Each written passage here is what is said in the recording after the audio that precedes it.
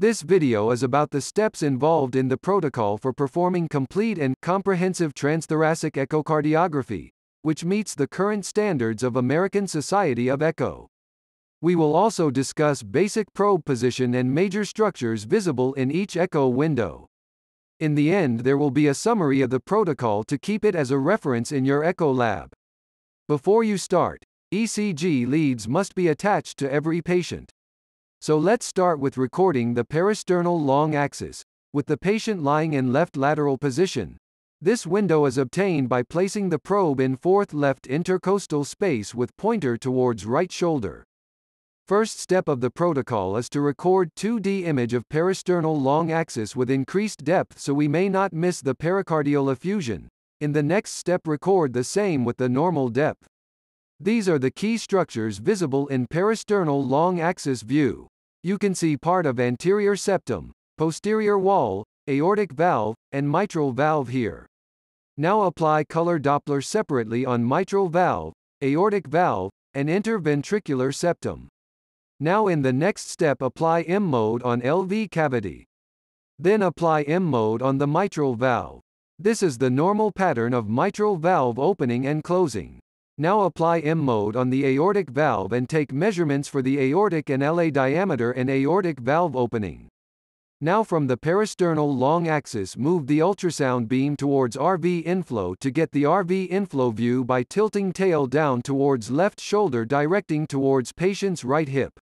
In RV inflow view we can appreciate anterior and posterior leaflets of tricuspid valve and this is the only view to visualize posterior leaflet of tricuspid valve. Apply color Doppler on the tricuspid valve, and get continuous wave Doppler through the tricuspid valve.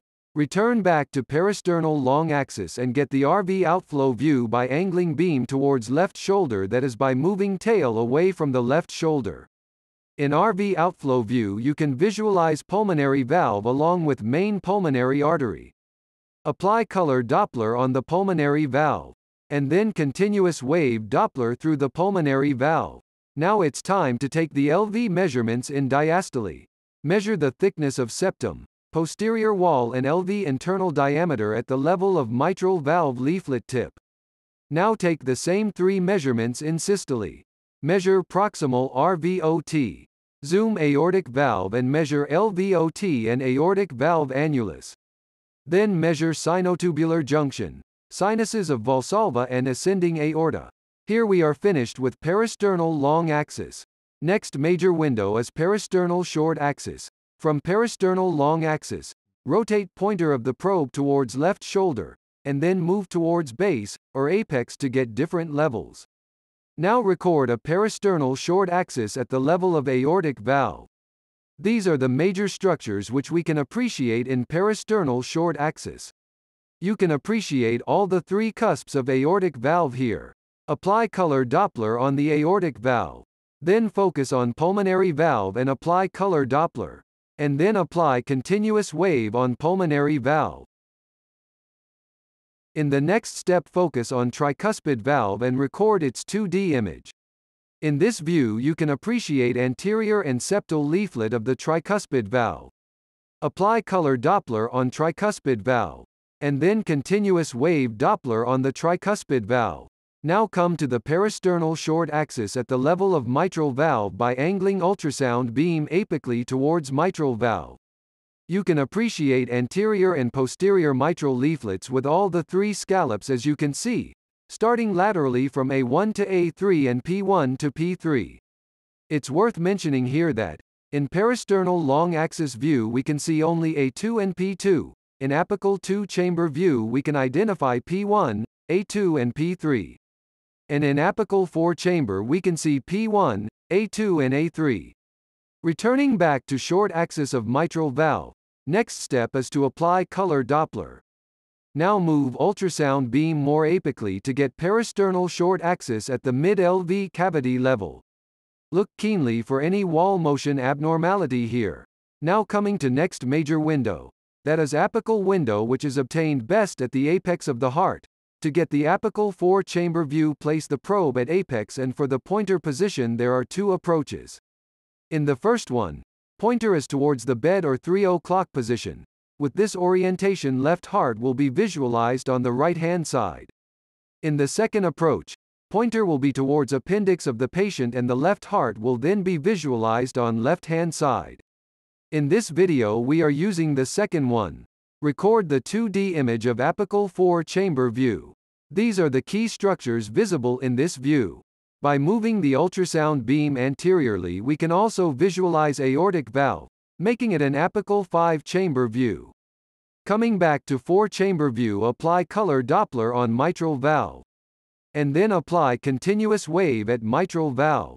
Now apply pulse wave Doppler at mitral valve leaflet tips to get the E and A velocities. Apply TDI at septal mitral annulus and measure E prime. And then TDI at lateral mitral annulus. Apply color Doppler on pulmonary veins and get pulse wave Doppler of the best visualized pulmonary vein. Next steps involve measurement of LA area, LA volume and similarly measurement of RA area and volume, details of which will be discussed separately in another video. Now apply color Doppler on tricuspid valve, and get continuous wave Doppler of tricuspid valve. Apply M mode on lateral annulus of tricuspid valve for TAPSE for the assessment of right heart function. Apply TDI on lateral annulus of tricuspid valve for measuring S prime. Measure RV area in diastole and systole to get fractional area change. Now coming to apical 3-chamber view. From the apical 4-chamber view, rotate the probe towards right shoulder to get the apical 3-chamber view. Apply color Doppler on aortic valve.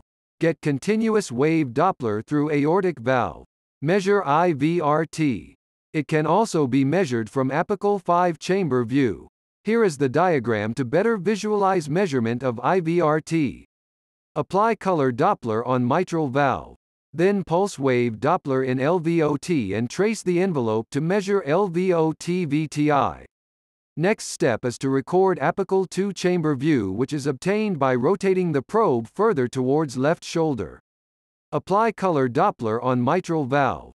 Remember this figure for the assessment of wall motion abnormality and the coronary territory involved. Next major window is subcostal. To get subcostal 4-chamber view, place the probe at epigastrium with patient in supine position, pointer at 3 o'clock, tilt probe anteriorly, and move ultrasound beam in between suprasternal notch and left clavicle. Record its 2D image. This view is particularly helpful for measuring RV thickness and to see atrial septal defect.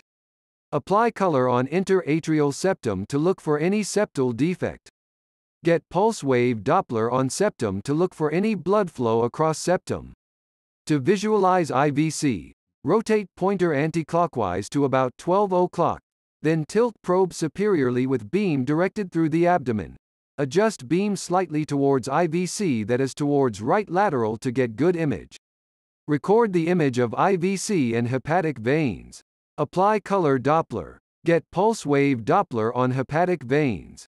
Apply M mode on IVC to measure and check for collapsibility of IVC.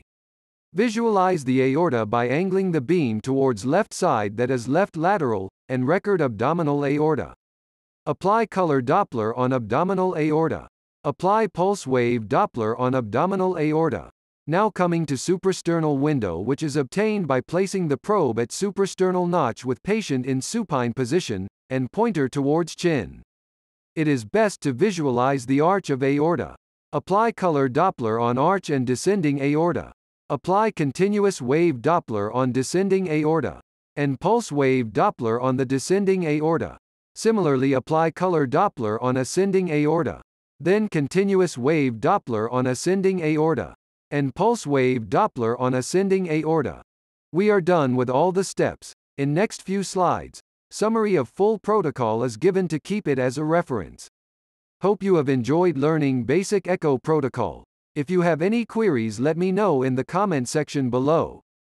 Thank you for watching.